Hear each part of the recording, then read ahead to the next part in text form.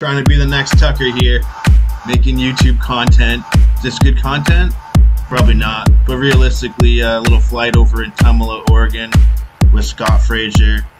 Six zone to fly in again. My sons keep talking in the background. Love it.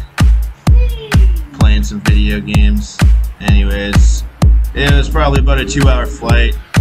Launch was a little crappy. Ended up uh, dropping some sheathing on two lines right after I replaced two lines earlier that morning. But uh, part of motor life, I guess.